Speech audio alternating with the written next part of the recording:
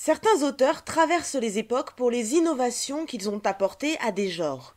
D'autres en créent et pourtant restent dans l'ombre de l'histoire.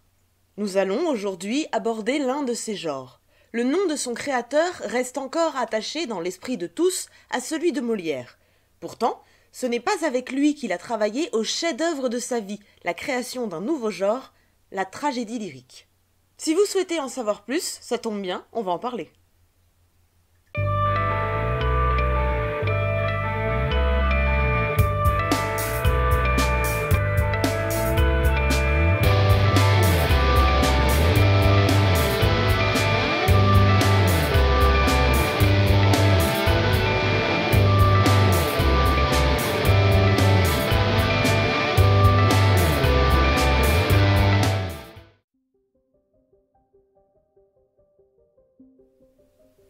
À l'origine de la tragédie lyrique ou tragédie mise en musique se trouve donc un homme nommé Jean-Baptiste Lully. Né à Florence, en Italie, en 1632, il arrive en France à 11 ans, amené par le chevalier de Guise. Il entre ensuite au service de la nièce de celui-ci, la grande demoiselle. Il est chez elle, au contact d'un petit orchestre privé que la duchesse de Montpensier entretient. Il apprend la musique et l'apprend brillamment, puisque sa protectrice l'autorise bientôt à fonder la Compagnie des violons de Mademoiselle, réputée pour jouer presque aussi bien que la Compagnie du Roi. Lors des événements de la Fronde, la duchesse de Montpensier fait de mauvais choix et perd les faveurs du souverain. Lully, pour sa part, est embauché par le roi dans la grande bande, aussi appelée les violons ordinaires de la chambre du roi, ou encore les 24 violons du roi. Fort de son talent et dans les bonnes dispositions du monarque, il ne tarde pas en 1653 à être mis à la tête de la petite bande qui gagne bientôt en renommée. En 59, il devient premier compositeur à la cour et en 61, surintendant de la musique. En 1664, il travaille régulièrement avec Molière et crée avec lui le genre de la comédie-ballet.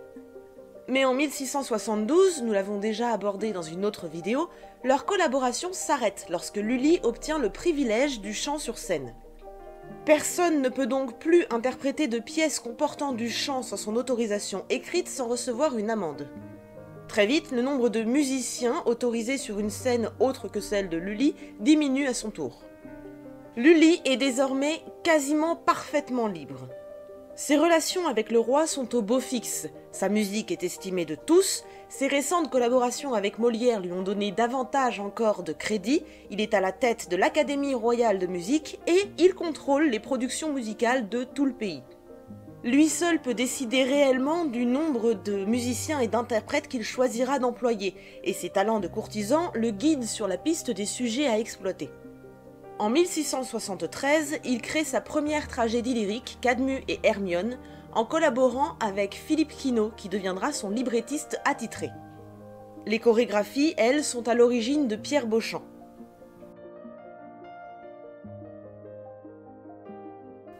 En développant la tragédie lyrique, aussi appelée tragédie mise en musique, Lully et Quinault cherchent à créer un genre prestigieux. Le public français, et donc surtout les résidents de Versailles et le roi, apprécie le théâtre et la danse. Et surtout, l'opéra italien tente de s'introduire en France, aux grandes dames des locaux qui ont des réticences envers ce genre nouveau. Lully s'applique donc à faire obstacle à l'opéra des Italiens, en créant des œuvres à la mesure de son public. La tragédie lyrique est donc inspirée de nombreux genres. Elle reprend des éléments du ballet de cour, de la pastorale, de la pièce à machine, de la comédie-ballet, et enfin de l'opéra. Ces différents éléments permettent la mise en place d'un spectacle total où chaque élément est mis en valeur pour avantager les autres. On prête autant d'attention à la danse, au texte ou à la musique qu'aux lumières, au décor ou encore aux costumes. Élaborée en cinq actes, la tragédie lyrique se développe autour des thèmes du merveilleux. Elle n'hésite donc pas à s'appuyer sur la mythologie ou les légendes gréco-latines ou encore à adapter des poèmes épiques. On retrouve aussi parmi les sujets les amours malheureuses, encore une fois soutenues par le merveilleux, qui permet grand nombre d'effets de machinerie. La tragédie lyrique est avant tout une tragédie, le propos en est donc généralement une destinée tragique. Cependant, aucun texte n'est parlé, et même la technique du parler chanté n'est pas tolérée. Si l'intrigue est importante et permet le déploiement de divers effets spectaculaires, elle ne l'est cependant pas moins que le reste des formes artistiques qui sont pratiquées dans la tragédie lyrique.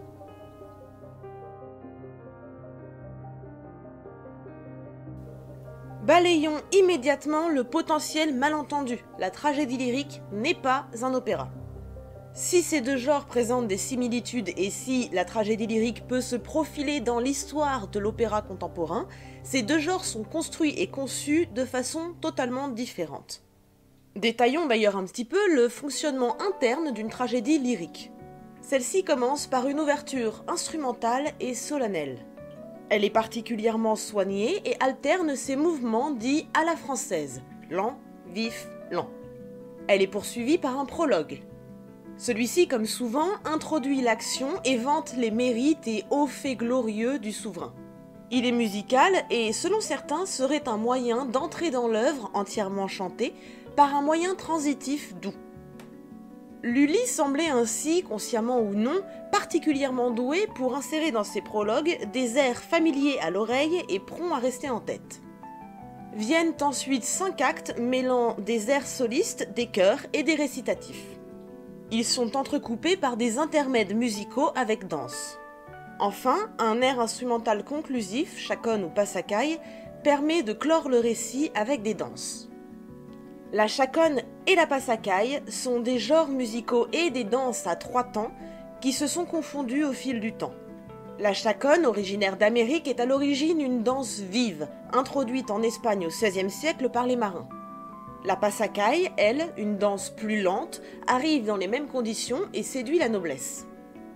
Finalement, les compositeurs eux-mêmes finissent par semer le trouble dans la distinction entre les deux genres, et on peut donc dire que la tragédie lyrique s'achève par un air instrumental conclusif en trois temps. Le texte est entièrement chanté, comme nous l'avons déjà évoqué. Par sa musique, Lully met en valeur une déclamation récitative, plus froide et monotone en apparence que le récitatif plus chargé des Italiens. On dit que Lully étudiait la déclamation de la Champmélé, une actrice tragique, pour modeler sur elle la construction de la partition. Celle-ci était soutenue par un orchestre complet. On y trouvait ainsi un premier et second dessus de violon, une haute contre de violon, un quinton, un premier et second dessus de flûte, un premier et second dessus de hautbois, un basson, des trompettes ou des trompes de chasse, un clavecin et des timbales.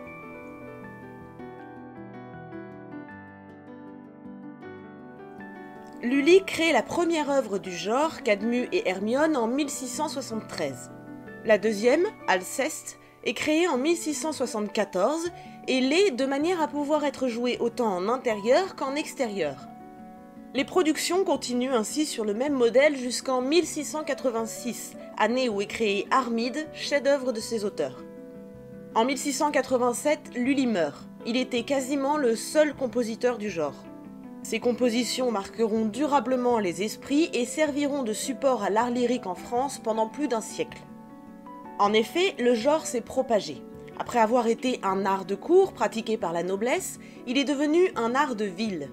À la fin du XVIIe siècle, les acteurs sont souvent accompagnés dans les airs principaux par le public parisien qui connaît bien les mélodies. Ces airs créés par Lully sont repris au théâtre et parfois même dans les salons ou encore dans les foires, dans des propositions parodiques. Ces formes parodiques découlent tout naturellement des grandes œuvres de Lully, Quinault et Beauchamp. À force de récurrence dans leurs différentes productions, ceux-ci ont en effet fini par créer une sorte de système formel du genre. Comme bien d'autres, la tragédie lyrique favorise ainsi une certaine façon de jouer, une certaine façon de danser, etc. Ces codes se sont propagés d'autant plus vite que les pièces ont été appréciées. Phaéton, par exemple, a été créé en 1683 et a continué d'être joué régulièrement jusqu'au XVIIIe siècle, soit plus d'un siècle plus tard. En son temps, l'œuvre a été l'une des plus populaires de Lully et a donné lieu à de nombreuses parodies mêlant les personnages de Phaéton et d'Arlequin. Ce système esthétique et ce genre musical dominent la fin du XVIIe siècle et le début du XVIIIe siècle. Son héritage est extrêmement vaste et perdure dans le temps. Il est encore possible aujourd'hui d'en découvrir certaines œuvres auprès de chefs d'orchestre contemporains, comme par exemple Hervé Niquet ou encore Christophe Rousset. La manière d'aborder le genre a évolué en fonction des circonstances de son approche et de l'époque de celle-ci.